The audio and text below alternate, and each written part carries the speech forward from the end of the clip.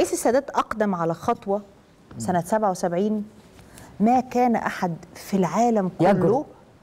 يتخيلها. آه. يعني مش بس في مصر. آه. كانت زيارته للقدس آه طبعا.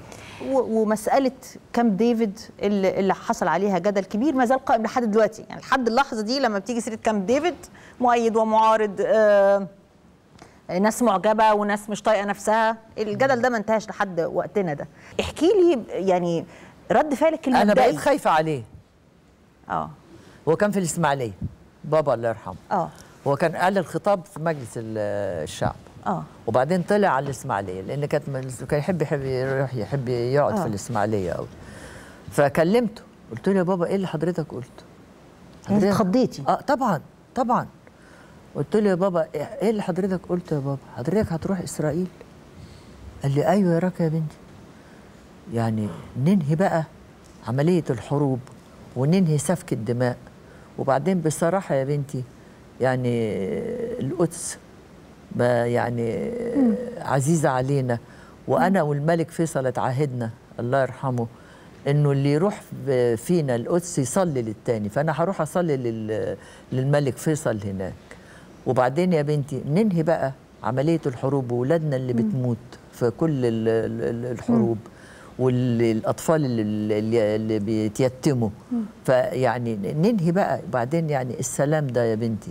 ما هو ده اسم من أسماء الله الحسنى. فده سلام. أنا بعمل سلام ما بعملش آه، ج- حاجة غلط يا بنتي.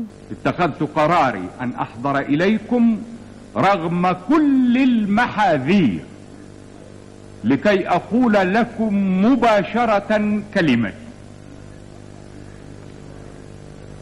ولقد تحملت وأتحمل متطلبات المسؤولية التا- التاريخية. من أجل ذلك أعلنت من قبل ومنذ أعوام وبالتحديد في 4 فبراير سنة 1971 أنني مستعد لتوقيع اتفاق سلام مع إسرائيل. وبكل هذه الدوافع التي تفرضها مسؤولية القيادة أعلنت في السادس عشر من أكتوبر 73 وأمام مجلس الشعب المصري. أعلنت الدعوة إلى مؤتمر دولي يتقرر فيه السلام العادل والدائم.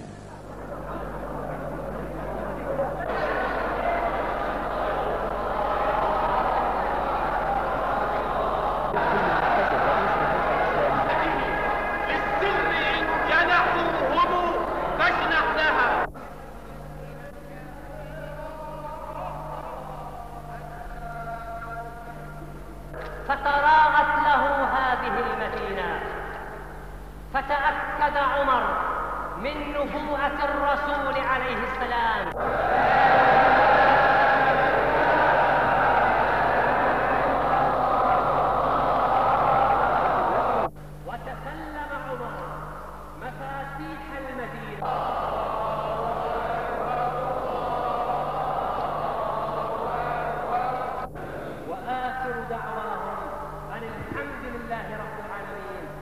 كل عام وأنتم بخير والسلام عليكم.